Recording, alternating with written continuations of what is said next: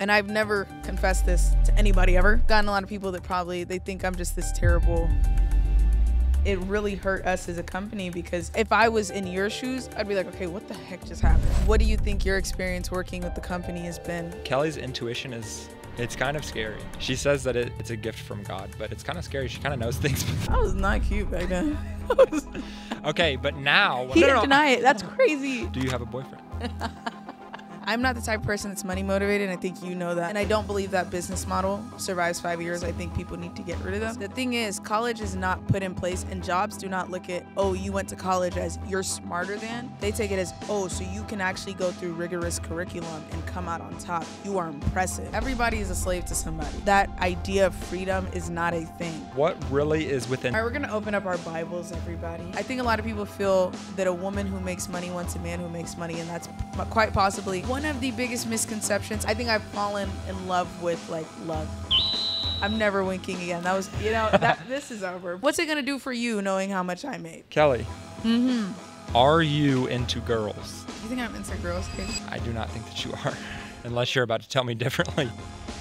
Good evening, everyone. So today we're doing a video that's probably going to make me the most uncomfortable I've ever been on social media ever. I asked you guys to ask me personal questions because I realized that most people don't really know me. They think I'm just this girl that I guess just talks about trading and people have been asking to hear more about me and I was like, you know what? I don't really want to like tell the whole world, but you know what? I'll tell the whole world. Whatever. Today we have the wonderful, wonderful, wonderful Hayden.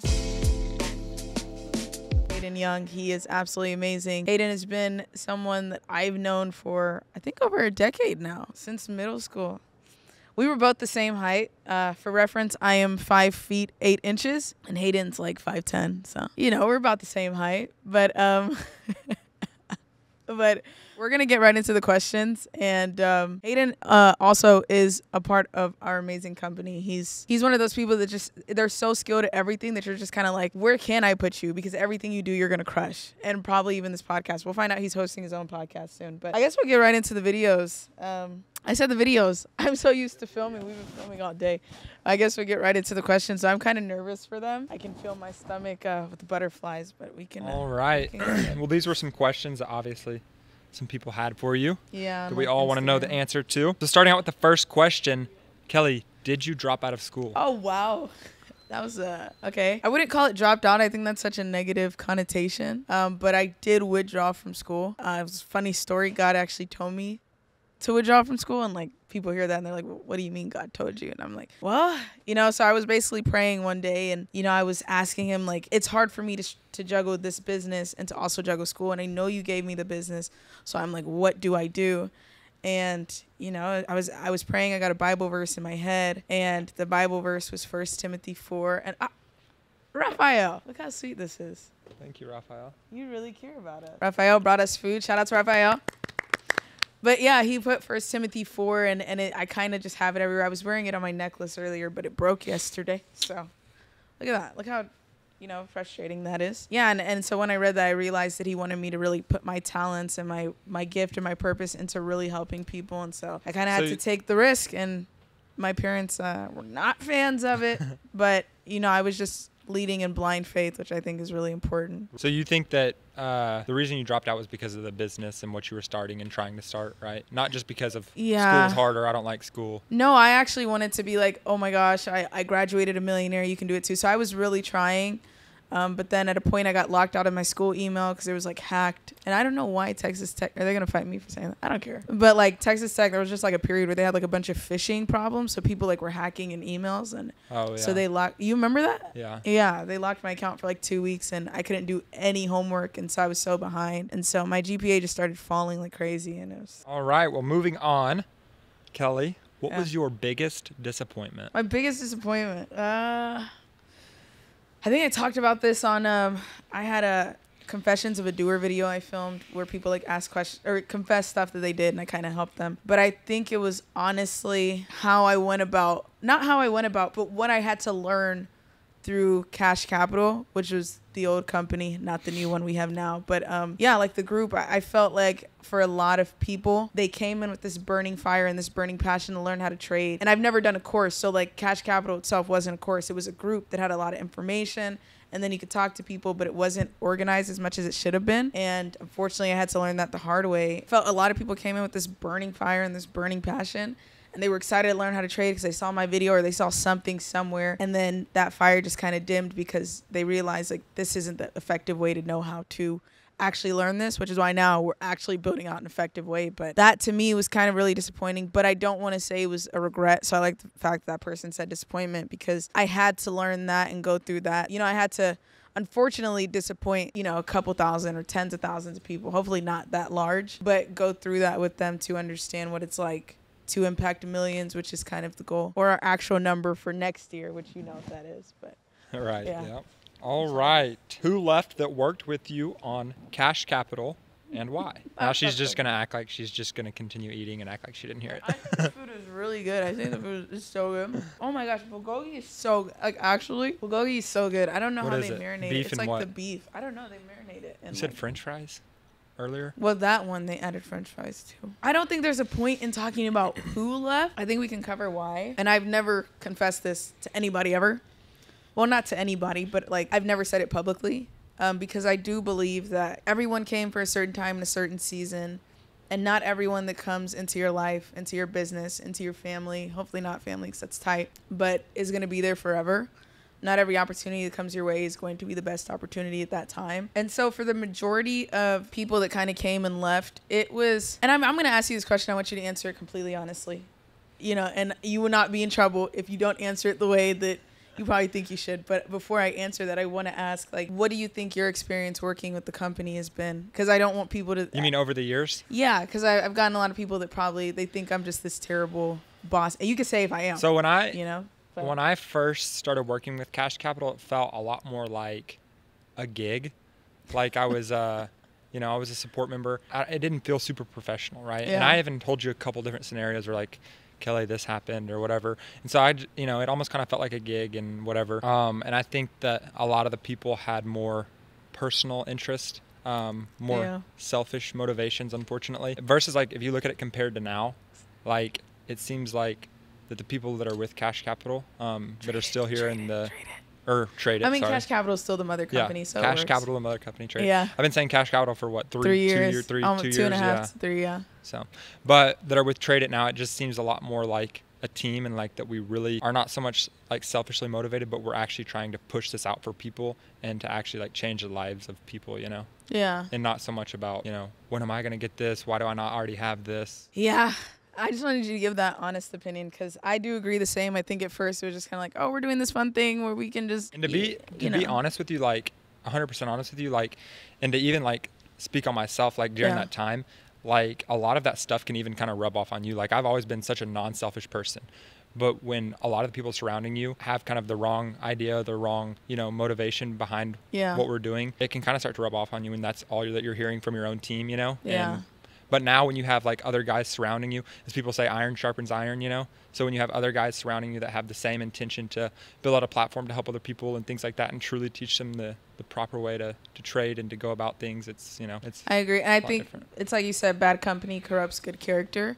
And so, you know, what I noticed is there were a lot of people who unfortunately kind of looked at the numbers that weren't really true. Like we we were on Discord and Discord will say we have 18,000 people. We don't have 18,000 people, right? And so they'll start doing the math like okay, if 18,000 people are paying this much and we're making this much, you could pay me this much. I'm like, I wish we were doing those. I wish. Like, I think we'd all be living really nice. But, um, you know, I, I think it was just a matter of some people saw what was possible through somebody else and they were like, well, if someone can do it, then I can do it. And I would never stop somebody from going down that path. But I think the only place where I was very upset about it is I felt like this isn't about you. It's not even about me. It's about helping these tens of thousands of people who genuinely have a passion. And if the second that it's not benefiting you in its entirety or based on what you believe it should, because some people believe that they should make $10 million a year from a company that doesn't even do that, you know? So if that's what people's mindset is, and that's what a lot of people's were, they're like, well, I'm going to leave. And so we saw like it just was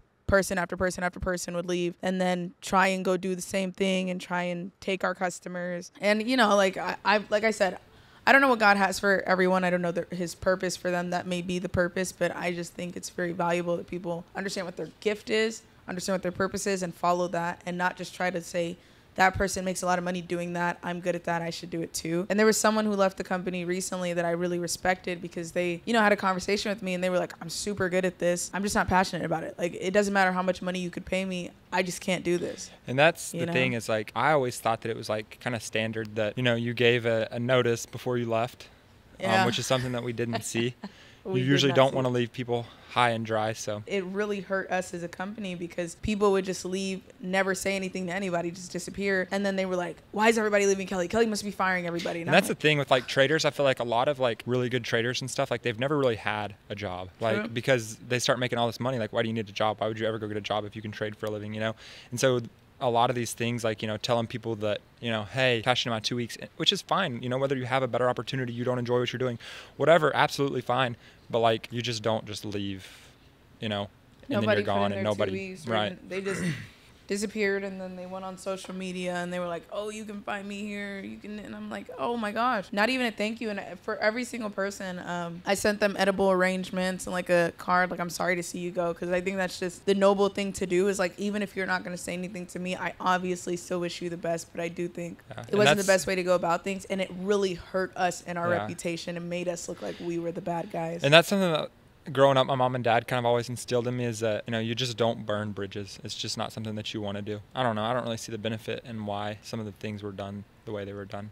But You know, but I, it's like I said, God puts people in for a season and a certain reason, and I think their season was just up, and you know things are great now, and I still wish them the best. But oh yeah, I you still, I mean, I like the way we the thing operate. is, is um, I don't know. It was kind of, it was kind of tough because they were, I was close with a lot of them, working for them for three years, and so I would still consider a lot of them my friend, you know. But it was just, it was tough to see them happen, and honestly, like it was tough to see that what they did to the company and what they did to you, but they also did it to me because then I was sitting there like, oh my gosh. No, So- I was I was really shocked when um when I saw like the people that still stayed, and it was only I think there's only two people standing right now. That's still or three, Three.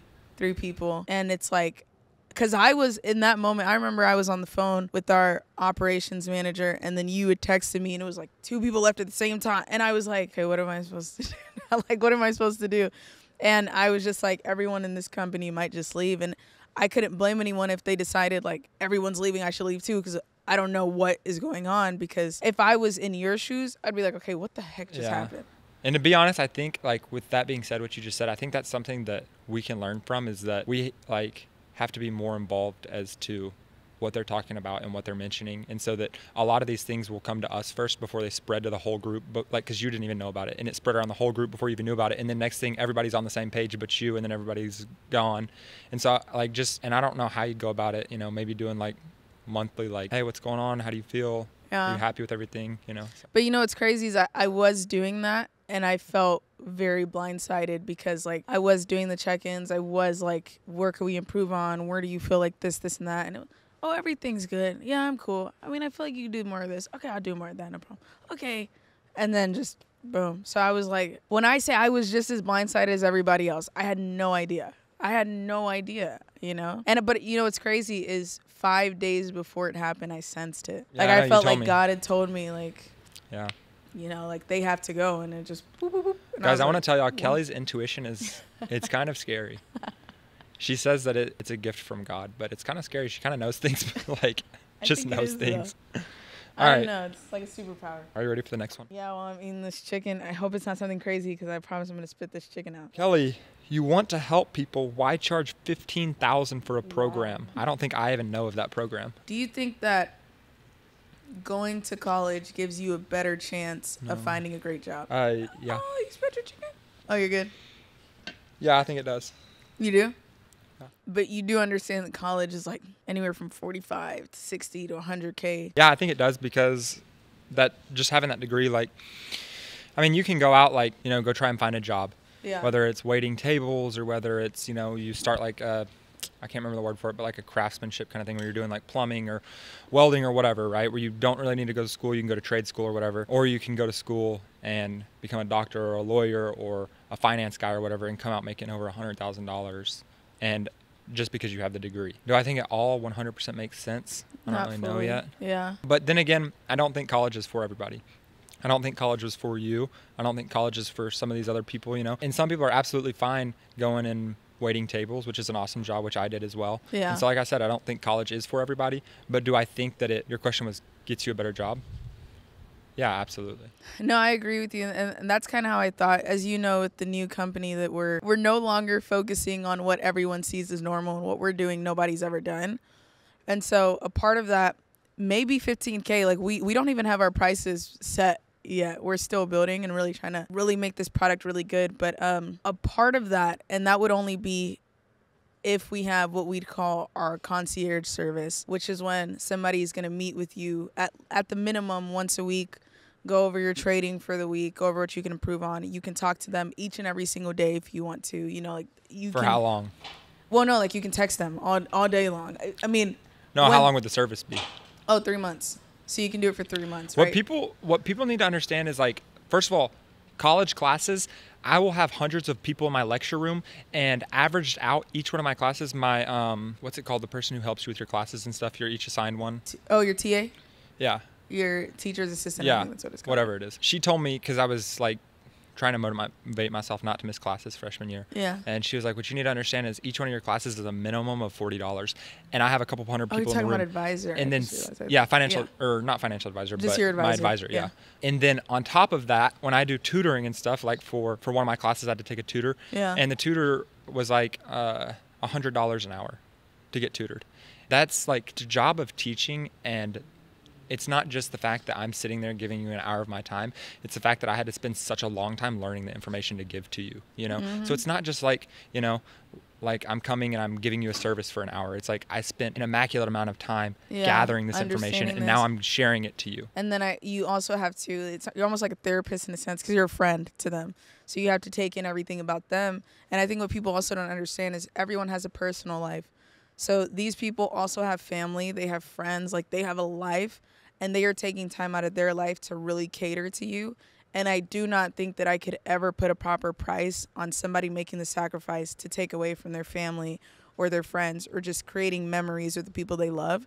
And so that cannot be a cheap service, especially when it is going to be a one-on-one thing. And the thing is, is if it wasn't a cheap service and then everybody does it, then we couldn't even do it. You know, like it has to be more of an exclusive thing. Otherwise, we couldn't even do it. yeah, The but concierge. we also have other products that are meant for Right. people who are more getting into entry level. And then worst comes to worst, YouTube. Like you know, when people say, "Oh, well, you're charging this much, but you want to help people," I'm like, I did it- like I made a YouTube for free yeah. that you could still go to and learn a whole lot of information, and then you can also look at other people on YouTube. And that's the thing is the information is out there. It's been out there, you Yeah. know, whether it's YouTube, wherever it is, the information's out there. Now there's a lot of false information, but the information is is out there, and that's what we're, I think that's something that we're trying to do is first of all get the false information out, and second of all not make it to where you have to go through all the trials and errors that you know I myself and Kelly had a great starting. Uh, when she started trading, Yeah. but she did have her trials and errors as well, and so you know to minimize those and to make it easier and No, I agree with you on that. But we're not trying to hurt anyone. We're not trying to be greedy. We're just trying to value the people that need to value you. And I've never heard anybody complain about paying fifteen hundred dollars to text people. That's what phones do. Yeah. You know. So. All right. Um, what's something you can't live without? And while you tell us, I'm actually going to think of something that I think that you can't live without. Oh, I already know. I want you to answer that first. Taro. That's so crazy.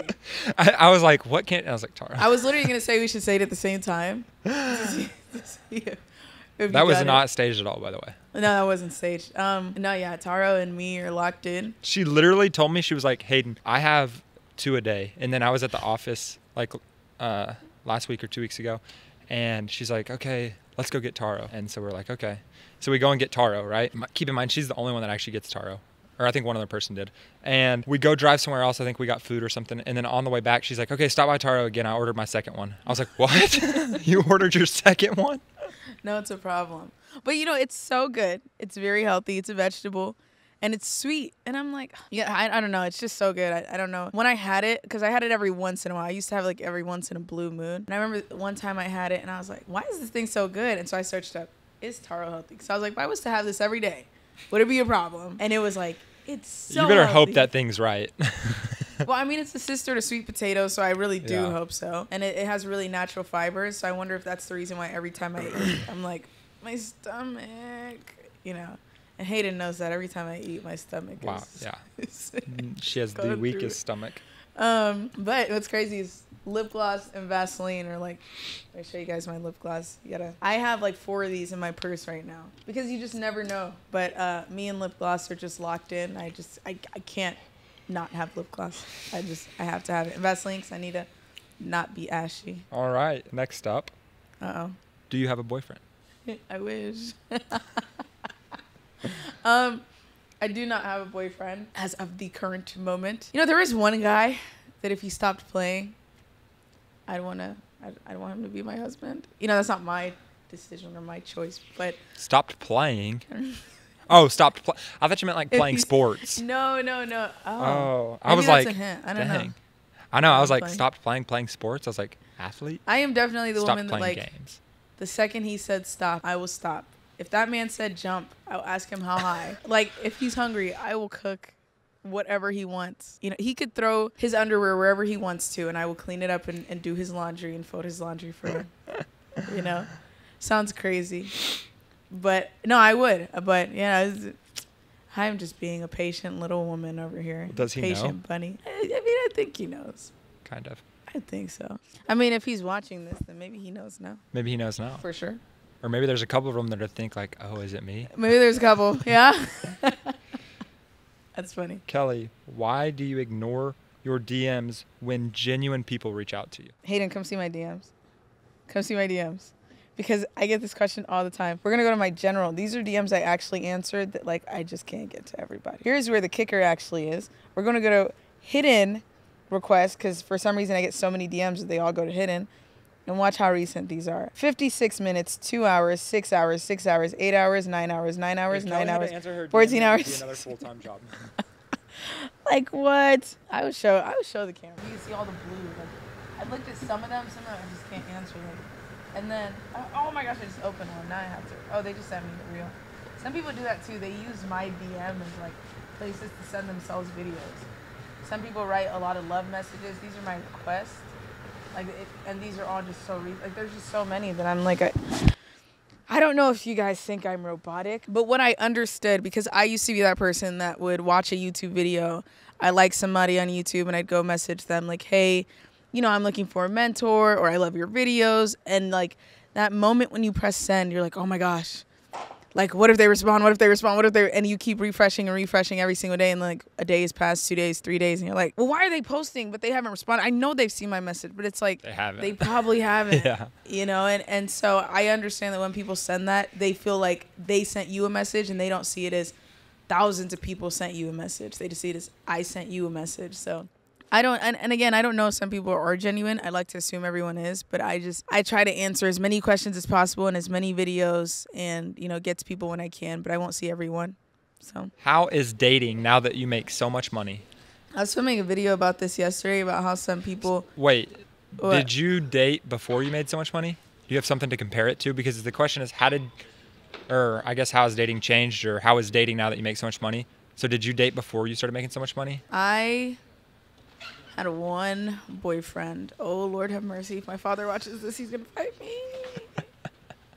um, I, I like to be very nice about people, even when they've done me wrong. But um, that relationship taught me a lot, and I felt like I really gave a lot and tried a lot to someone who just simply didn't appreciate me, and you know wanted other things and other people that I just, you know, I can't live up to all these people that you want me to be and and then on top of that when you're actively pursuing them and it's like, you know, it can really hurt a person and break a person. So I felt what that was like.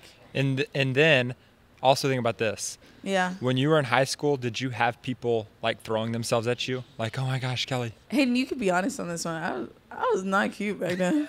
I Okay, but now what I'm saying is now. he No, no, didn't no. deny it. That's crazy. Kelly, I barely remember that. I like I knew of you, and I think we had English class together. But in high school, like you didn't go to the same- high school as me. Yeah, but in So- middle school I was I can show you this picture of me from middle school. This, I've uh, seen it. A year or so out. A year or so. But now, just by going through your DMs, the change from what you just said to now. Like I saw like not the DMs, but the questions. All the like half of them are like, "Are you looking for a man? Are you looking for a Haitian man? Are you look? Do you want to date me?" like and like now you have guys that are just like, "Please date me." I, I think it's uh, one since my audience is wi- wider because I don't believe in this planet that anybody's ugly. I think everyone's cute to somebody. So I think I just didn't have enough people that thought I was cute back then, even though I really thought I was cute back then. But I also think it's that when people hear my intellect, like I notice one thing guys like is just a girl that seems like she's trying to do something and that she's actually going somewhere and not just gonna sit around and be like, you know, wine and dine me and shower me. And like that's just not me. Like I, I really like my whole goal is to retire young so that I could literally just be a housewife. And I don't care if people are like, well, that's boring because I want to be there for my kids. I want to be active for my kids. And I know your mom was like similar. I had a whole Yeah. conversation with her. Like, hmm you were making all this money before you got married. You got married, you had kids, and then like you stayed home. And she was like, yeah, but I enjoyed it. You Not know? me. She's talking about my mom. Yeah. No, Yeah. no Hayden Because you were saying pregnant. you. no. Hayden- yeah, I was saying you like to her, but um, no. So I noticed that afterwards, guys are definitely more interested. Men that I should never pull a day in my life um, have been very interested in me. Guys that just like are models. I've had some celebrities, some athletes, like stuff like that. But I just like The thing is, is like, what my mom has always told me is like, like yeah, you can find somebody and be attracted to them and stuff, but the way they look, you're not always like the attractiveness. It shouldn't be solely because of the way somebody looks. Like you have Yeah. to be like their best friend because you're gonna be with them forever. And as you age, naturally, you're not gonna you know look like you once did. And so just being like also like super close friends and just loving being around each other and enjoying Yeah. each other is super important. No, I agree. I agree, and I think that's that's like the key thing because I've seen a lot of like articles where somebody gets in a car accident and then you know they're still with their partner even though they're paralyzed or like they're basically what they'd call like a vegetable where you're kind of brain dead but you still exist and people still love them up and down because they fell in love with who that person was and i know in this day and age people lead with their body and their face first versus actually Exactly. leading with who they and are And a lot of people will say, "Oh my gosh, I love this girl that I met a week ago." You love her because the way she looks and because you know You whatever her know body her. is. But the thing is, is true love is like like you said, like if somebody gets in a wreck or when they get old and they no longer look the same, do you still love them? You know, like And- love is not love is hard. It's not easy. It's not. no, it's not yeah It's easy when somebody looks absolutely stunning and they're you know they have a good body and they're whatever whatever whatever. Yeah. But can you love them through this this and that? Yeah, and I, I think um, another thing is I, I like to argue that you don't really know somebody until you've seen them in all emotions. You see them happy, you see them sad, you've seen them angry, like not even angry at you, angry at something else, because then it's kind of a reflection of how they'll they'll treat you, and then of course angry at you. And I think a lot of relationships it starts off with just happy, happy, happy, and you barely have had like your first argument or something like that. So I don't think it's. I just I just don't people throw the I love you so fast, and I'm like, ah, you're infatuated with them. I don't know Yeah. if you love them. But Yeah. what do they have next up for me? Don't scare me. Don't scare me. Don't scare me. Don't scare me. Why did you close your group? Oh, And I think you touched on it earlier I in did the touch question. on it, and I just pulled my. Why did I close my group? Because I felt like we weren't serving people in the way we should have. Um, we were the number one group in the world for any type of Discord or group related to trading, but just for me, it just wasn't. I'm not the type of person that's money motivated, and I think you know that like very well from knowing me. A lot of people won't know that because they don't know me, but I just I don't care about the money. Like I believe in spending money on experiences, not things. I will cry about spending money on things, and I love spending money on people. But, you know, I just felt like where we were operating at, I was like, this isn't something I want to do. And then I was like, do we survive five years? And I don't believe that business model survives five years. I don't believe Discord groups will last within the next five years. I think people need to get rid of them as soon as possible. But there are a lot of people who are going to keep them up despite knowing that they don't actually help because of the fact that they're making so much money. And there mm-hmm. are some that, that, you know, obviously are going to be beneficial. But for the vast majority, somebody makes five thousand dollars one day and they say, I'm starting a group, get my course, get this and you know, I'm just like, that's not actually helping somebody. Like I do not like courses. I do not like groups. Granted I, I've had a group. Like that's coming from someone who had the number one and like I just I know it doesn't help people in the way anyone preaches that it does. And I felt really off about that. And then two, I've never had a course, but like I've seen people who preach courses as passive income, and it should never be seen as that. Like if a customer watches your video and then they email you, you should be able to respond immediately. They leave a comment, you should be able to respond immediately. Like there's no reason someone should pay for something and they cannot get a response from you. And people will be like, "Oh, it's passive income. I just have my virtual assistants answering everything." And I'm like, "You're the person with the skill. You're the person that said trust what I'm saying, so you should be the one helping them." Because courses are more personal than an actual business, even though they'll call it a business. Curriculums. Yeah. Oh no no no. Curriculum is our thing. Oh. Courses Oh. is social media's Oh, thing. okay. Okay. But um, yeah, I just I didn't like it, and I felt like education wasn't really being pushed, and I would love to see what somebody truly following proper education, like what that could look like in terms of actually changing someone's life and expanding their brain. And I just felt like The, all the discords done. are literally built around trading signals, and, And it's like it's so. Signals are- deception. It's like such a deception. Like Yeah. you think, you think it's one thing, and it's just not. the signals are not it. And I used Wha- to send signals, and they like I had like a a ninety percent win rate on my. and what I tell people but- is, all these you know millionaire traders, right? If they were able to send their signals, and you were able to take those signals 100% and get their profit out of it, right? Then they would also be making an insane amount of money. Yeah. If it was possible to reciprocate that kind of, you know, I post my play, you take it, and it works, everybody in the world would now quit their job because who wouldn't want to make a million dollars sitting on their couch trading at home Mm-hmm. it just doesn't like it's not there like you can't post a signal and have somebody take it without knowing why they entered or why they exited or what they're doing and just you know expect to have the same results that that you have And I think I think what a lot of people don't understand is one of two things. One is that it's like you said, you don't trust that person's trade the same way they do. You don't know why they're in. You don't know why they they'll get out. So if for any reason that their phone dies in the middle of that trade and they're not able to tell you to get out and you lose, it's like well, it leads to number two, which is that your money is in somebody else's hands. And I don't believe that anybody should have when when they believe they're chasing something where they can control their income, I don't believe that they should be comfortable with their money still being in somebody else's hands because that's why people say, "Oh, I want to quit my job to start trading because with a job your money's in somebody else's hands." But it's like if okay, if you want to do that and you want to pursue that like personal route, then why are you still leaving your job to go do exactly what you're doing again? and at the same time it's trading signals and stuff like that like it is such a beat around the bush of financial advice like it is That was it right too, yeah. there yeah. at fin- like how is like i mean it is I believe it's just I the way that you say it that it doesn't make groups it I will get shut down very soon. well some already have right Yeah, some of them have, and I believe they're gonna they're gonna clock down harder as more financial scams start to come out because like I don't think people understand how covered and coveted the financial industry is and how careful you have to be if you do not have licenses. And I just felt like like the second I feel like this feels wrong, I have to pull back. I can't do mm-hmm. it anymore. And that's just that's when I was like, guys, we're going to education. And a lot of people felt like no, it's because all those people left, but we had that in place before anybody left. We were like, we're and that's the thing like any craft for Yeah. example like they're not teaching you they're teaching you how to weld right? They're not doing your welds for you. They're not saying okay you have a welding job coming up. Let me do this weld next to you and, and you copy me. Or hey you want to be an artist? Here's exactly how i paint and here's how i do things you know? They're teaching you the concept of it how to do it and it's your job to you know like do it you know for how best works for you. Are you ready for the next one? Oh man. no it's not it's not a bad one.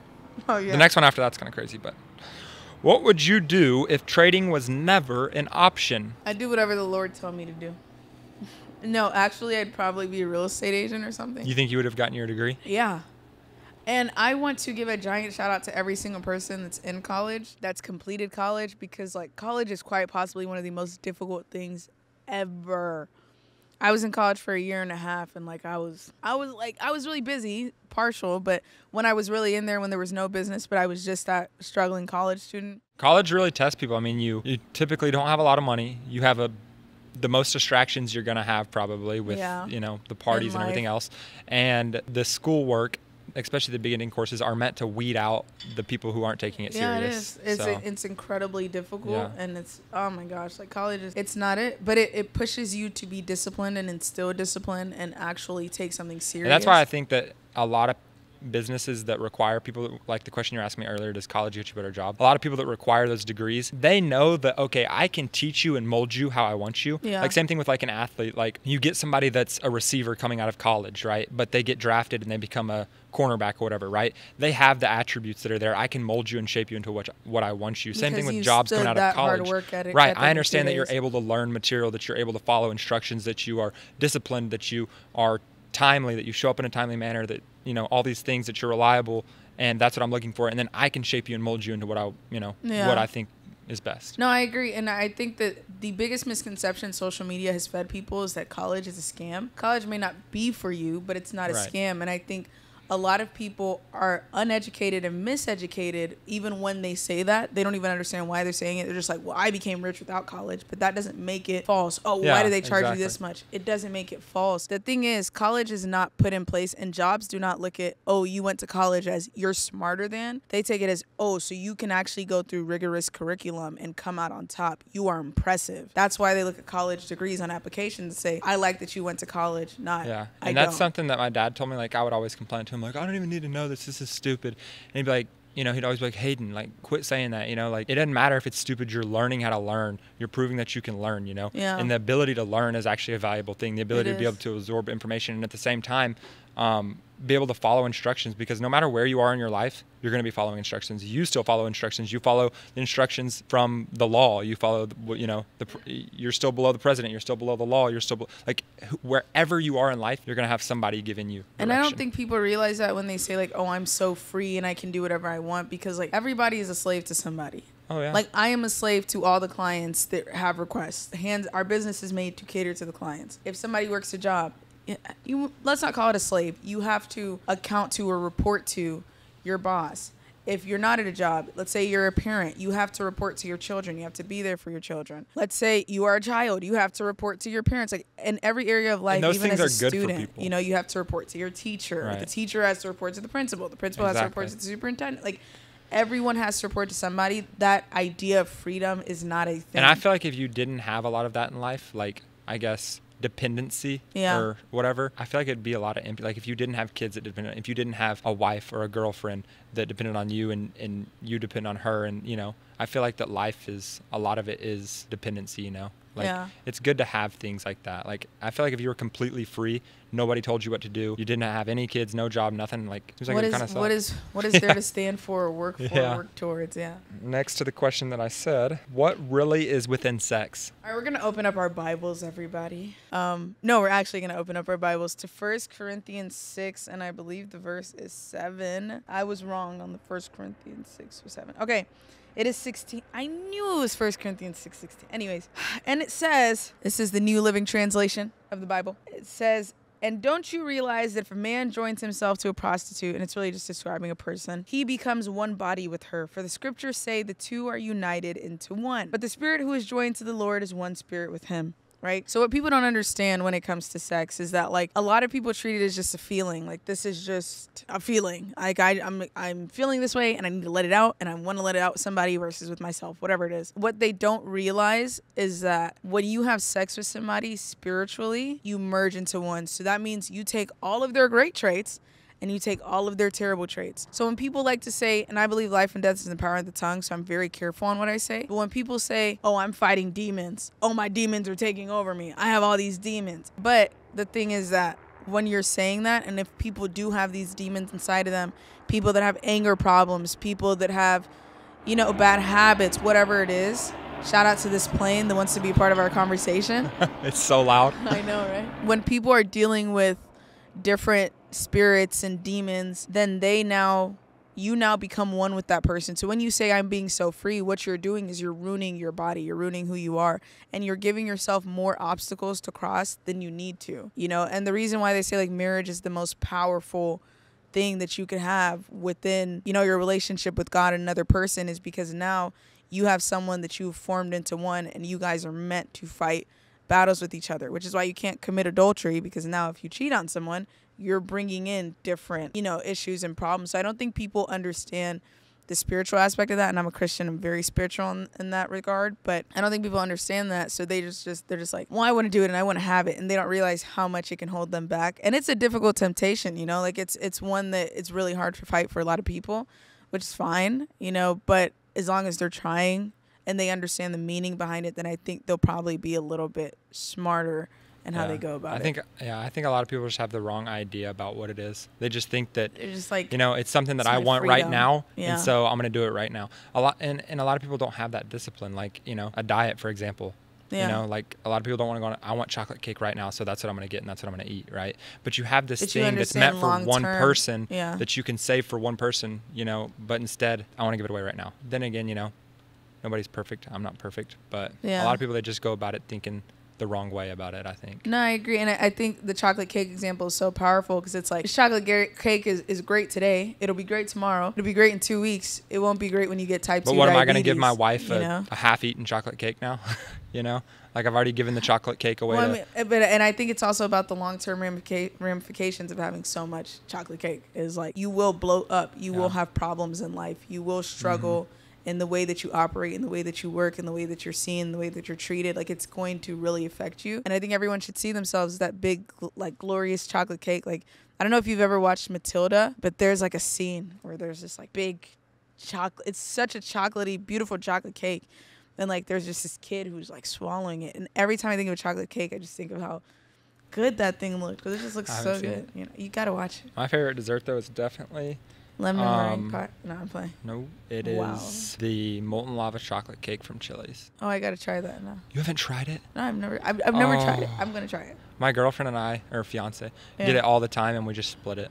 And but when my brothers and I used to get it, my parents would always take us and let us get one, and they'd put it in the middle of the table. And like I'm not kidding you, it would be gone in like literally 10 seconds. Like we would be racing to get it because we would all be eating off the same one, you know? Yeah. And we'd just be freaking.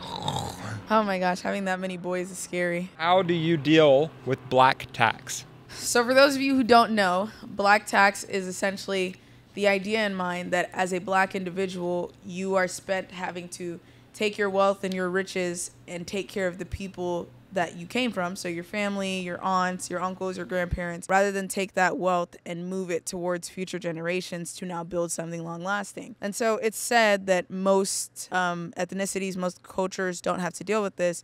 Whereas white people in America or just in pretty much any country, they are able to have a solid foundation. This is where like the term old money will come from, where they're constantly putting money forward. And, you know, same thing with Asians and Indians. Indians are Asian, but, you know, and then with black people, it's like, wait, we got such a late start. We have to now give to those behind us rather than working for those for us. And then those behind us end up eating up what we have to the point we can't build for the future. So, how do I deal with it? Um, I've learned the power of saying no. It's very difficult, especially when you know like your family is, you know, the number one thing to you. Your friends are really important to you. But I also, like, I fought with it a lot of times because I'm very much a giver. And I do give a lot to my family. I take care of my family. I made sure I did that. But I, I'm also very frugal and prudent to where I don't do something unless I know financially it 100% will make sense. Just money wise, I don't spend a lot. Like I save a little too much probably. And so my thing is I don't I don't try to give to everyone. And I notice some people and a lot of people, the second they start making money, they want everyone to know. And I think it's the worst mistake you can make. Like, if it wasn't for social media, I would have never told anybody how much I was making. And like, social media, I still regretted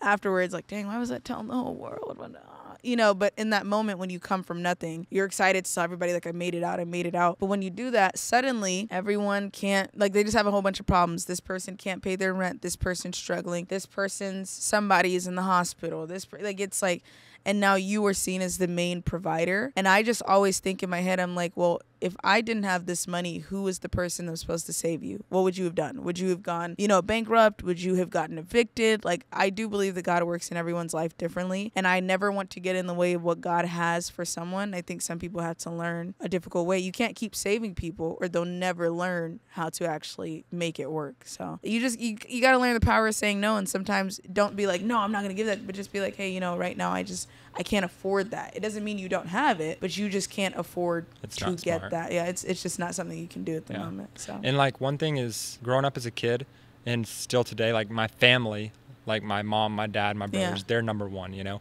But eventually Yeah. when you have your own family, they have to be number. they're one. number one. When you have your wife and or for you, your husband and your kids, now they're number one. Yeah. You know, and that's your number one priority.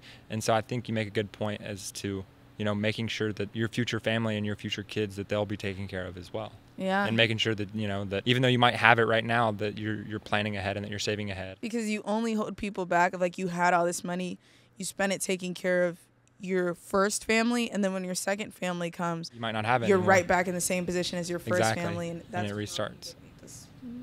I know there is at least one indicator that you use that made your life easier. What is it? The RSI, it's the relative strength index, um, but it tracks within it's like a 60 or 90 or 45 day period how stocks moved or just like whatever that currency or index, whatever it is, how that instrument moved, and then it tells you like, okay, now it's overbought, and if it's overbought, that means you'll sell price, and you can make money off price falling, and if it's oversold, which it, would actually be down here, you can buy it and make money off price going up. It was helping me at first. I was making that money. I was like, ooh, I'm so cold. I'm gonna just load up positions, load up. It's oversold. I'm gonna load up. I'm gonna load up. And that thing, what people think is that it does this, when actuality it goes like this.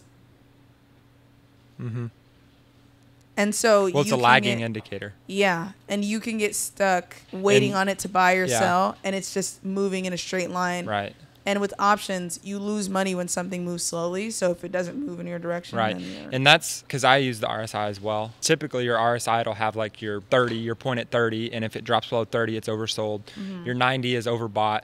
Um, and so that's kind of how you use it. There's a lot of different uh, types of RSIs, especially if you go on like TradingView where people can just create them. There's a lot of different kinds of RSIs. Something that I've ran into a lot is I'll teach somebody about the RSI and then they immediately think that, oh, all I have to do is buy when it's oversold or uh, sell when it's overbought, right? But what like what I want people to understand is that trading it can be easy when you learn it, but it's not that easy. Like if it Uh-uh. was that easy and you could make that much like everybody in the world would be doing it if it was as easy as hey i'm gonna buy when it's oversold i'm gonna sell when it's overbought like no it's a lagging indicator like yes you can use it uh, you know you. can use it to help you and you can use it in combination with a couple other things in Yeah, combination a with your technical know- confluence. yeah as a confluence but i don't think you're gonna have great success using it solely but i do think it's a good indicator i do like it Yeah, I thought it was pretty good until one day I lost um, eleven thousand dollars using it, and I was like, "I'm done with you. You're finished." kelly Mm-hmm.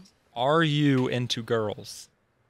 And I know this might seem like a weird question, and I wasn't going to put it on here, but this question was actually asked a lot. So I think they need to know Are you into girls? Do you think I'm into girls? Hayden? I do not think that you are, unless you're about to tell me differently. no way. No, no, no. Okay. I am not into girls. Um, I got that question a lot, and I was like, "Bro, am I ugly? Like, do I look like a man? Like, do I, like what do I look like?" So I started to really deep dive into like my older videos and my older photos and stuff like that. I realized that how I used to dress gave off more tomboyish vibes because I used to resell sneakers, and so when you resell shoes, a lot of your collection and the way you dress is going to be based off hype beast culture is what they call it and so you become a sneakerhead and so you wear like the nicest shoes and kind of like the supremes and the bapes and like the girls have that same look they're not wearing like really girly clothing it's just more it's what they call hype beast right and that was just always what I knew because that was the industry I was in. And so I started dressing that way. And then when I then saw basically like, I guess all the comments, I, I started like, I was like, what the heck? like, where y'all getting this from? And but when I watched it, I was like, I could see it. Like I wasn't dressed like a girl. I was just it was always chill outfits, chill. And I don't I don't leave the house, so a lot of the times I'm not actively going out and shopping and trying to look better and trying to do all that stuff. Um, but like I said, it was the industry I was in, and even now that I'm more into the finance realm and like just having a public influence, my style has definitely had to change.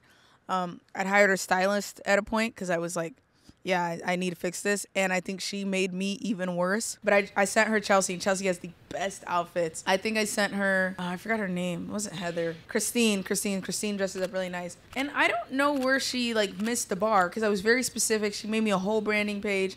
And then she started putting me in these oversized, baggy clothing, and I was like, "Hey, you know, like, I get swallowed, and it, it's not looking right, and this is baggy." And she was like, "Girl, but this is what's in. This is fresh." And you know, I just, I eventually stopped working with her because I was like, "I'm looking worse than than how I looked before I came to you." So, um, but now I think my style has definitely changed a little bit. I'm a very business casual person. You can ask Hayden that; he'll tell you all the time. Uh, me and Brunello Cucinelli are best friends. I love shopping there. It's just very business casual type of stuff. But yeah, I, I, I I'm not into girls, but I see where people saw that, and so I'm actively trying to change that narrative because like it is a little bit uncomfortable because you know it's just not who I am. But yeah. Why the promise of price locked in for life just to abandon all loyal Cash Capital members who couldn't afford the new platform? It's giving more focus on money slash sales and not education as you claim. You're actu- you're not actually helping people when there's an ulterior motive and doing it for your benefit. And then in quotation marks, greed. I'm like the, the the number one person on this planet that does not care about money. Like greed is not the case. What happened is we found out that we just couldn't migrate everyone over because that's almost like stealing a subscription. And then two, we also wanted to really weed out people who weren't as serious and people who were. And unfortunately, some people who were serious couldn't afford it. And we did our best at and this is for our pre-launch because we're not even fully launched, but we did our best to do 50% off and be like, hey, this is the best we can do, but this is not the same platform. This is not the same company. This is not the same in the way we're operating. So what you're used to, you're getting 10 times, 100 times more. And so we can't price it at the same price, you know. And you still have access to the platform, but we have to shut it down because there's just no value there. Like I just don't believe that it's what Yeah. it, it could have been and what it once was at a point. And like like you said earlier, like the pricing and stuff for a lot of the stuff isn't there, and you know we gave it to them fifty percent off and stuff, and we're still like building out a lot of stuff and making a lot of stuff for the people that are in there, yeah. and it's gonna be amazing. We have a lot of It's gonna be great, and it's Yeah. gonna be it's gonna be more expensive than way more expensive than it is now, and I say that with all confidence. Well, actually, you know, it won't be not for the platform. no, I mean the thing is, I don't believe anything is, is expensive. I believe stuff is worth it or not worth it. Yeah. But when people are looking at price, they're like, "That's expensive," or "It's not." But it's only expensive if you can't afford it. That does not mean the value is there or isn't there. People need to look at it like, "Is this valuable or is this not valuable for me in this current moment?" But I don't want to give them the wrong idea and them thinking that what is there right now is going to be more expensive. What's coming is going to Oh, be yeah, because know, what's coming know, yeah. is is high level, Yeah, it's high quality content that we've put hundreds of thousands of dollars into. You know, so it's it's not something that anybody's ever done. But yeah, it's it's definitely not a being greedy type of play. It's just a our services are different. We're not anything you'll ever see on the internet or have ever seen. So we cannot. And and the- the biggest thing first and foremost is that we just couldn't migrate everyone over. We tried it, and they were like, you can't do that because it's basically going to be like because then in that case, you could just keep migrating people over to different stuff they didn't sign up for. And they were like, you're going to have to have everybody cancel and, and redo it. And I was like, well, you know, we're a different thing anyways. And the thing is, is like if you look at any business in the world, they're selling something for a price, and it's not like yes, there are greedy businesses out there, but a lot of them aren't. You have to make money to be able to operate. Like these Yeah. things that we do are not cheap, you know. Is it? No, no way. People don't understand that. They think that they think that every dollar that goes to to like Their subscription is going straight to us, and then we just get to put it in our pocket. no like even even for me i think a mistake i've made on social media and a lot of people do is like saying that the business's money is mine but it's, it's not The business know. is what? the business's money is mine so it's like oh yeah. oh, the business does this much, so I make this much. I don't make that much. You know, I lived I lived off trading. Now I live primarily off like YouTube and like you know, I don't pay myself from the business. Like every time our like CFO is telling us like, oh, who do you like who do you want to pay? I'm like, don't put me on there. Take me off. Take me off. Don't pay me. You know, because I just I want to reinvest everything back into the business to make more, and then that can pay everyone. But I And just she she really does, guys. She Oh, um, you. you know, hyping me up. she doesn't, and I'm part of the finance thing um, for the team. Financial She's not even on the payroll for the the subscriptions and stuff. Like the stuff that she gets and stuff is her personal brand and things like that. And then like a lot of the business money is just reinvested right back into the business, as well as some of her own personal brand money. Like she's always putting it back into the business, trying to better things, you Yeah. know, for y'all and build out something that's going to be amazing. Yeah, So. I, I don't think too many people spend their business money like it's theirs, and it's like. But again, my biggest thing is I don't care about money. I want to do something better for people because that goes way further, and Mhm. people just aren't wired like that, and that's okay for them, not for me. When you get married, will you post a vlog about it, or will you always keep your love life private? I think my love life will be private for probably until I get engaged. I was in a relationship for a year and nobody knew. I mean, some people probably knew, you know, probably, but you know, I just it just didn't work. I think that's partially my fault to blame. Uh, I got so consumed with the work and kind of who I I was not was, but like who I was becoming not like clout wise but just i wanted to be this person who was an overachiever for other people that i neglected the person that you know was really caring about me but I think that I could do better. But yeah, I wouldn't post them because like then that's just embarrassing. You know, I'm, I'm out here posting this person, look at me in this person, and then it doesn't work, and then it's like that's just embarrassing. So when I get engaged and that's more concrete, then maybe you'll see something about it. When I get married, then you'll probably see something, but it would never be my full image unless I feel like it can help someone. You know, maybe I'll be a relationship coach. Under, um, no, I'm playing. Don't do that to me. Why haven't you learned your mother's tongue the Igbo language? Ig- Igbo. Igbo language? Yeah, Igbo. It's a tribe in Nigeria. It's my tribe actually. Igbo. So from. why haven't you learned your mother's language fee? Igbo language.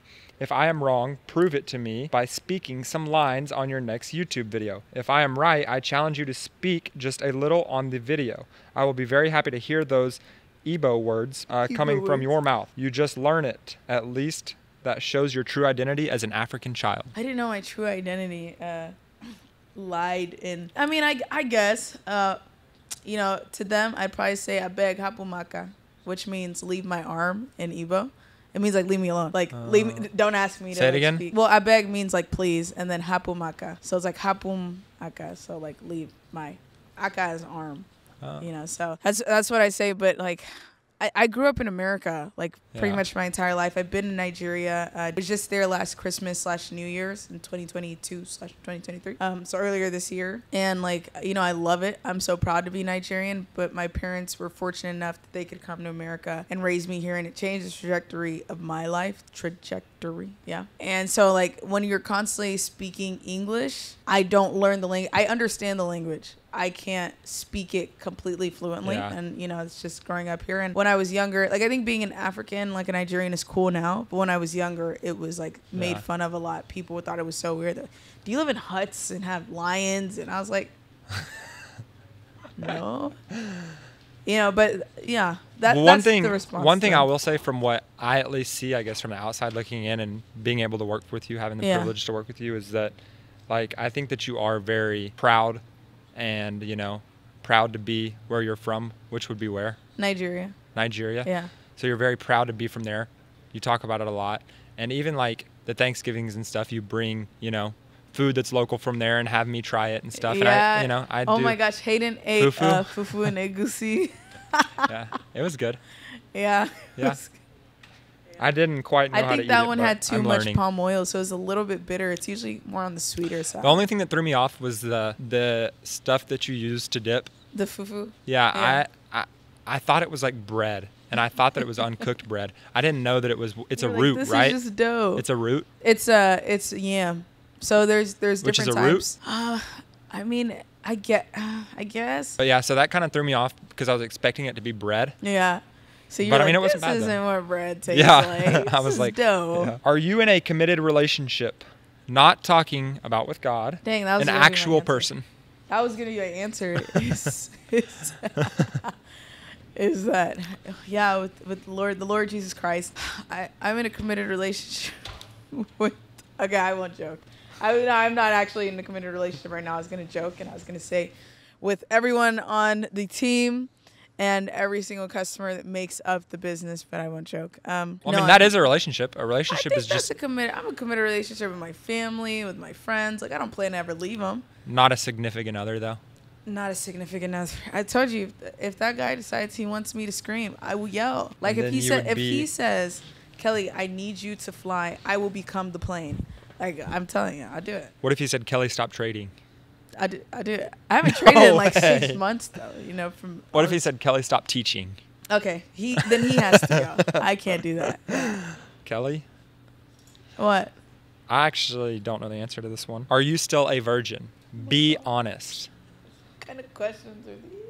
Like I was, I was trying to debrief myself on how I'd answer these, and I was like, "How crazy can people get?" When I first posted this, I was like, "How crazy can people get?" And I realized like people think about too many things that, that like have nothing to do with what they should think about. Social media corrupts your brain. Um, the other day I was having a conversation with uh, a friend, and they asked me if I was a virgin, and I said that I am indeed a virgin to Waffle House. I've never been there. Um, so. If you ever want to take me to Waffle House, you should definitely take me to Waffle House because I, well, need I to go. I like I like itch at Waffle House. You need to go. I need to go to Waffle To Waffle House? Oh, but it's like so they're so dirty and like I'm a clean freak. So like? I like I get you know the feeling when you see trypophobia. Yes. I feel that when like I see dirty. Then I'll just bring you waffles from Waffle House. Okay, we can do that. okay. And then you'll make me a non Waffle House virgin. so are we moving over the question? We're moving to the next question. Sounds good. What are you looking for in a man? Are you open to dating right now? I would describe the man, but I think that'd be too obvious. Um, no, I, I just I think too many people, and I think this is probably going to answer another question that's on there, so we could just skip it because I know we're we've been we've been talking. It's been a great conversation, though. I think a lot of people feel that a woman who makes money wants a man who makes money, and that's quite possibly one of the biggest misconceptions. Obviously, she does, but that's not the most important thing. She wants a man who's driven, a man who's working towards something, a man who wants to be something and isn't just sitting around like, oh, you make the money, like. Um, but most importantly, any woman wants a man who listens to her, who makes her better, who tries to be active, um, in her life who doesn't just say like, oh, because this is your womanly role, you're only gonna do this, but it's like mutually beneficial. So like, I'll help you do the dishes. I'll help you clean around the house. I'll help you do these things if I know you're too tired to do it. But also a man who understands what my purpose and goal is in life, so he's not gonna get in the way of that and be like, oh, you know, you're always doing this and you're always doing this and do you always have to do that? And, you know, I, I'm trying to find the balance, not right now because I am single, but I'm trying to find the balance of making time for relationships and then making time for work. But then when it comes to like family and those relationships, I still incorporate those and making time for me and hobby, hobbies. I do think, like you said, you're trying to figure out how to balance the time. I do think that it's mutually beneficial with both, as your benefit, as your business will benefit, you know, your relationship, and vice versa. Your relationship will Yeah. benefit your business because you know whatever man you do find should be somebody that is supportive and somebody that's your, you know that's there for you and somebody that helps you and you know when you have something wrong at work or you need somebody to talk to he's there for you and so i feel like that you know when you do finally find that right combination and stuff that it'll be mutually beneficial Yeah, no, I, I agree. What was the other part of that question? It was like, oh, and am I dating right now? Are you da- open to dating right now? I think when I was first really building, I, I like a relationship, I just couldn't have time for. I think right now, sometimes I. I don't long- think that's really a question. I like think right that now. if the right man walked into your life, it doesn't matter if you're open to dating or not.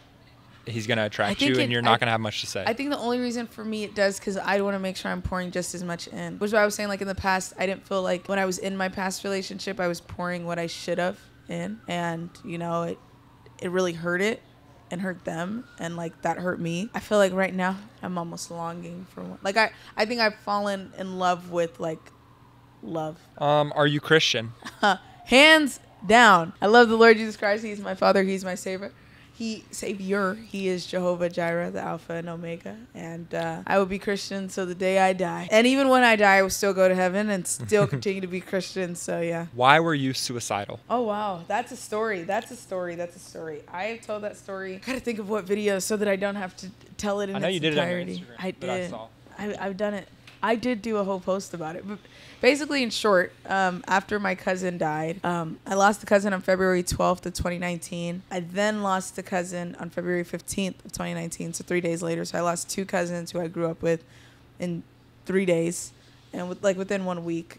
And uh, my birthday I spent at a memorial, like a, it was like a weight keeping when you go and like kind of celebrate their life. Um, and then spent the rest of March at a funeral, and then I only had one friend at that time, my very best friend, and at the most like the the darkest part of my life, she just left, like just ghosted me, disappeared. So then it was like I thought I was dealing with two deaths, now I'm dealing with three deaths because now I've lost my best friend. It was just very lonely and it was really difficult for me and i just started to get to the point where i was like i can't really talk to anybody about this because i don't have friends. And then on top of that my family's going through it too so i can't really turn to them and it just took me to a very dark place to the point where i was like i i was the only person and i say this quite literally that stopped me from actually taking my life was god because the same week that I was going to, he came to me through my dad's pastor who I'd never met in my life. And like, he was just like, you know, this is what God told me to tell you and, you know, tell me stuff about my life. Um, and I was like, what the, he- me? Like, I'm, I'm trying to go see him. Why you want me to still stay here? You know, so. Um, but yeah, it's kind of like the short and condensed version. But yeah, I've I've been there, and I, I I never discount depression because I know that when people go there, it is it is a dark place. And like some people are like, well, how can you be depressed? You need to do this. Like depression doesn't exist. It just, but it's like it does. That's what my mom, like- It's it's huge. I I struggled with depression, but I don't remember it very well because like your mind a lot of times will. And I talked about this on my live Throw it away, video or whatever. But yeah, like it blocks it out so that you don't remember it. So I don't remember a lot of it. But I would tell my mom in high school like, it's not real. Like, you know, like whatever. Did it. But she was like, it's literally like it's literally uh, imbalance in your brain. Like it's literally scientifically proven. But I actually take medicine for it Yeah. because of what happened. But I don't remember it that well. So I don't like have a lot to say about depression because I can't really remember being depressed. yeah. But there was a like over a year period of my life. I, I think it, when I was young. it must have been really serious if the people in your family still like they still feel the effects of your depression. You know. yeah, well, I mean, I had a I had an autoimmune disorder like I talked about and it just it caused like a lot of stuff in my life. You know, I lost all my friends. I was no longer I was a super good athlete. I was no longer able to perform sports and da da da da da. Yeah. And it was super tough and so which I guess the antidepressants did help, but I, I still take them. I don't I don't really know why, but I still do. Well, I hope with or without them that you were always happy. Oh, I'm happy You know, now, and I'm I can't here. remember. I'm always here. And I am too, but I can't. I can't remember not being happy now. But there was a time in my life where I definitely wasn't. So, Yeah. so I do know that it is, it is true. But don't know if this is a if this is personal, but how to take a loss or blow a blow an account. This is the easiest way to take a loss. Go on YouTube or Instagram and see somebody that bought a Ferrari or a Lamborghini or like a crazy house, show you how they made a hundred thousand in a day or fifty thousand in a day, and then decide to join their signals group and then decide to take a trade when you've never actually learned how to trade. That's the easiest way to take a loss. If you want to avoid a loss, then education is the number one thing. If you want to avoid blowing an account, well, you need to first accept the fact that you're going to lose money when you start trading. So don't trade unless you're starting with money that like disposable income that if you threw in this pool right here, you wouldn't care if it disappeared. And understand that this is my tax for learning how to do something that's supposed to make me more. And That's and a couple education. Yeah, a couple biggest things. I have to say about that is when I experience losses, one thing my dad always told me is education does cost money, you know, and whether you're doing that through the form of trial and error, whatever it is, it costs money. Yeah. Second thing I'll say is that preventing losses, I think that you will have losses. It's just a, you know, you, you will have losses through trading. You will. You can prevent a lot of those losses early on, I think, by paper trading. And then the last thing I'll say, like you can learn a lot of technical analysis and things like that. You can't really do the emotions, but you can prevent a lot of the like errors that you would have made. Like, oh, I wish I would have, you know, bought closer to the ask so I got filled immediately and I could have actually entered when I wanted to or whatever it might be or oh. sold and sold closer to the bid so I could have sold immediately and I didn't get stuck holding the bag whatever it might be right? You learn Yeah. that through paper trading. You don't have to learn it the hard way like I did. The third thing I was going to say is when it comes to like blowing an account because there were multiple times where I had blown an account and lost a lot of money and stuff and it like literally just broke me just destroyed me. And my dad he would tell me he would be like I would like call like I remember the time I was ready to actually like give up and I was like I'm done. I call my dad and he was like so this is it? He's like you're going to give up now and I was like, I don't know, I just can't do it. Like I've tried. And he's like, so all this time, money, effort, he's like, it's all for nothing now, right? I was like. I don't know. I was like, I just can't. He's like, he's like, you know, he's like, you've gone through all these different things in your life. He's like, I know you're not the kind to give up. He's like, you know, and luckily I had supportive people like my mom and my dad. Um, and he's like, you know, you know that it's possible. Are you, you know, are you just telling me that you're not able to do it? He's like, all that, all that effort that you've put in. He's like, it's all going to go to waste now if you give up now. And I was like, I can't give up now. No, that's that's a big one. Too many people discount how much they've tried for how much how many results they've had, and I think it should be flipped. You know, Mhm. you should put your trials ahead of your results and value the time you spent and try and get results from that. But yeah. right. Kelly, what happened to the 25K giveaway? What happened to the 25k? gi- What happened to the 25k? giveaway? The 25k giveaway. I don't know what video I'm posting first. So if it's this video, then they're gonna have seen the winners throughout this video. If it's not this video, they're gonna have seen the winners throughout that. But what happened was I posted that video, and we were on an insane binge over the past two three months of just working, and you can attest to that. Like we've just been locked in on like building this thing out and building out this company and, and trade it and everything that it'll you know entail that i just i didn't have the time to sit down and, and film a youtube video She really didn't. I used to have hobbies like playing video games and stuff. I don't really have that hobby anymore.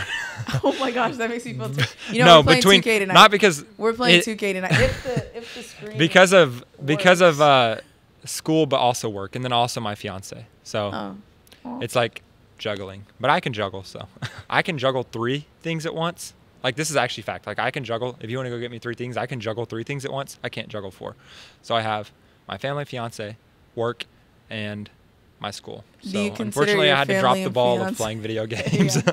yeah. No, I, I, I get that. No, I think uh, the giveaway, it, it was just literally just, I wanted to put out the best content possible. And I think something people also don't talk about is you do get burnout. And I was like, where do I want to go next in my content? Because I don't want to keep making breakdown videos and this. I think it cheapens my overall value because I'm not actually giving value by just saying the most basic information for YouTube. And so, um, yeah, I just I couldn't make a video, and that's why we are currently in LA right now because I was like, I need to just make videos for the next couple months so that I can focus on the business and just have those videos on autopilot, and then we can also film for Trade It because we are bringing the absolute best con. co- qua- quality. We're doing better than anybody else has ever done, and we're putting a lot of money into it and making sure it's really great. So yeah. Me and my friend got into a heated debate on whether you made your first million from cash capital or from trading. I said from trading, he said from cash capital. Please answer this, Kelly. I want to prove him wrong. Girl, I'm so sorry. you lost it. Um, I have not made a million dollars from trading. I did not make my first million from trading. And to get there is quite possibly the most difficult thing to do. I've made over six figures. I think that's fairly easy. Whoa. I like to watch my wording. I don't want to say easy. I think it's It's fairly easy when you are properly educated. there we go. Um, but to get to a million to do six figures ten more times, it feels like it feels like when you go up a ramp and then you have a steep uphill battle. It's like, oh, that was easy, and then it's like, oh, wait a second, this is actually really difficult. When it came to the business, uh, it was just kind of out of my control. I couldn't control how many people were signing up. Like you just don't control that. Um, and so it actually started to overlap trading and just came way way faster. And that's when you know after having, I'd say fairly good success trading. Some people may say it was very good, but I don't. You know, every it's some people are million dollar traders, and so I don't want to be like I've had all the success in the world. But um, I just kind of realized with my influence and who I am and what I can do and people that I can actually impact and touch, I was like, it just makes more sense to put more emphasis on the business because I could make all the money in the world I- trading. You know, I could pick up my phone, enter a trade right now, and make money, but I it's not going to help anyone. I think what you have realized is that yes, you can make money trading, but you can take a more significant role in running a company like this and building out something that's going to be much more beneficial to m- Yeah. much more people. And you can take your skills that you have learned from trading, your expertise that you have gained through trading, and you can use that to find people that you know will fill these roles properly as if you were there educating people, right? Like you Yeah. can find individuals that you know, okay, he's going to do a good job. He truly cares about the customers. He truly cares about educating these people, and he knows a lot, and he's a very good trader. You know, so I'm going to put him in place here because my place it might not be as a trader right now because I know there's a much bigger task at hand, which is And I think that's okay. Like people people always say in order to teach you must still do. And I used to feel like I'd be like, well, my professors are trying to teach me how to start a business. They don't even have a business, you know. And maybe they had one in the past. Maybe they I think a lot of it is also experience. I do if a professor didn't have a business, I don't know if they should, but a lot of times people retire and they're like, "Well, I I, I know I can do this multiple times over. I want to do more." And we have somebody who actually um filled out a job application that's very very impressive and they've made millions of dollars. I think you remember this person and they were like, "My business is automated. I, I just want to do more. I want to impact more people. I want to have a bigger role." And that's just how like I felt is I was like, there's no point of me being able to reach millions of people, and I'm just here like, look at me trade, and they're all like, why can't I do it? You know, and that's not a decision that everyone will be able to make. Some people, Yeah. it's like trading is all they want to do. We've had people that have come in, they're like, I just don't like educating. They're incredibly great at trading, and they'd rather just do it rather than like teaching other people, and that's Mhm. fine. yeah. But I just figured that. But I mean, that's not why the business made me more, but that's just the role that I've kind of taken, and not trading as much. And I, you know, even if I was to still trade, I wouldn't post it anymore. I just Right. Wh- why what's it gonna do for you knowing how much i made you know Yeah. so maturity is a beautiful thing I've All learned that. everybody, and to finish off the night, uh-oh drum roll, please. drum roll please we've been here for The tenth hours question on this topic: oh my gosh Are you in a relationship? oh my god i was so excited and you said the 10th and i was like this Which I think you've already 10 answered three times. I am in a relationship with making people better in life because I feel that that is what's most important. And so I will live and die behind that. I will put my all into making sure people are better in each and every single thing that they do. And if I can't achieve that, then I'd call it a failed relationship. Um, but maybe I should start a vlog, like actually, actually vlog my life or something, since you guys care so much about whether I'm not or not I'm in a relationship. Maybe I should do a dating Kelly's show, dating life. like yeah. the Bachelorelli, Kelly That's on the. Bachelor, and I just Bachelorette, and I just bring everybody, and hopefully that one guy is one of them, and I would cheat the system and make sure he gets the final rose. But yeah, now they're all Very gonna be like, who is that guy? I think I just I hurt probably more than I helped my case. Now I won't be like, are you in a relationship? It'll be like, who? that is guy is now gonna look at this and he's gonna figure out who he is and he's gonna be like, no way. He's gonna be like, I don't want her. I like, why is she doing this? This is embarrassing. I didn't say his name, so like, but like I said, if that man tells me to jump, I'm at, I'm gonna ask how high. So I think we're done on on those. That, That was, was it. everything. that was everything. I think we got like over like two, three hundred submissions and like you know A lot of them were the same. Fifteen hours. But we got a lot of them. Done. Yeah, and so I because we try to pick the best ones, the juiciest ones, the ones that weren't just "Oh, what's your average risk to reward in a trade, you know. So, um, but thank you every single person for watching, for tuning in. Thank you to Hayden for being such an amazing host. Hayden's one of the funniest people you will ever meet. and like he acts like he doesn't tell jokes 24/7 but he is absolutely hilarious and genuinely one of my favorite people on this planet Thank you. and I thank you for believing and trusting in our vision overall and of course. helping to change so many people's lives because it, it is huge. But Absolutely. yeah, Hayden's birthday is also in a couple days, so if you're watching this, you need to tell Hayden happy birthday because if you don't, he's gonna cry, and if you do, we're gonna know you stayed to the end of this video, so then you'll get a little treat. You know, I'm never winking again. That was you know that this is over, but um, thank you to everybody for Yes, watching. thank you, everybody. we appreciate it. Yeah, I hope you have a great night because I'm cold. I'm cold too. I'm so cold. I'm freezing. All right, bye guys.